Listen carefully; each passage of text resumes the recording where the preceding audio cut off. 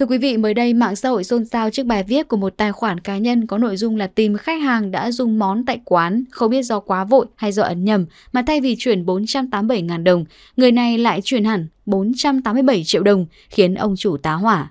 Ngay lập tức, nhiều người cho rằng đây chỉ là một bài viết mang tính chất PR cho quán, thế nhưng ngay sau đó chủ quán đã lên tiếng và khẳng định thông tin của bài đăng là sự thật. Anh Thắng, chủ quán ốc đăng bài tìm vị khách chuyển nhầm gần nửa tỷ cho biết vào tối ngày 3 tháng 8, có hai vị khách gồm một nam một nữ đến quán anh ăn. Sau khi dùng xong bữa, người đàn ông thanh toán số tiền là 487.000 đồng bằng cách chuyển khoản. Nhận được tin nhắn anh Thắng mới phát hiện là có khách chuyển hẳn 487 triệu đồng, tên người chuyển khoản là Vũ Hải Đăng. Chủ quán ốc cho biết sau khi nhận được số tiền lớn anh hốt hoảng và lo lắng. Cái đêm hôm đó anh không thể ngủ được nên sáng sớm hôm sau anh đăng tải câu chuyện lên mạng để tìm chủ nhân số tiền đã chuyển nhầm.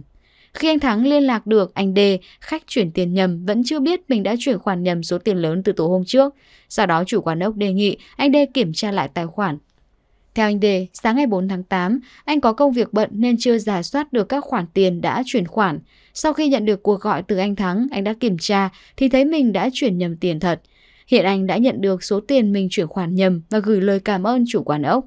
Trước đó trên mạng xã hội Facebook chia sẻ thông tin kèm hình ảnh về một đôi nam nữ khi đi ăn ốc tại quán ốc trên đường Hồ Tùng Mậu, quận Cầu Giấy, Hà Nội, thanh toán số tiền 487.000 đồng nhầm thành 487 triệu đồng. Cụ thể, Facebook này chia sẻ, cặp đôi đi ăn ốc hết 487.000 đồng nhưng lại chuyển nhầm cho chủ quán 487 triệu đồng. Ngay lập tức, bài đăng nhận được rất nhiều lượt bình luận và chia sẻ của cư dân mạng. Nhiều người còn cho rằng có thể bài đăng trên chỉ là một bài mang tính câu view, PR cho quán. Tuy nhiên, cũng có không ít người dành lời khen cho chủ quán có tâm, không tham lam trước món tiền lớn.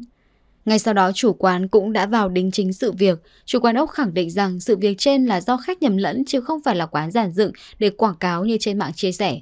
Bản thân anh đã mở quán ốc được gần 20 năm và đã có một lượng khách quen ổn định nên không cần thiết phải dùng chiêu trò để PR. Bên dưới bài đăng, không ít người để lại lời khen và chúc anh chủ quán ốc thật nhiều sức khỏe, buôn may bán đắt. Dân mong câu chuyện của anh được lan tỏa đến tất cả mọi người để truyền cảm hứng về sự tử tế này trong cuộc sống.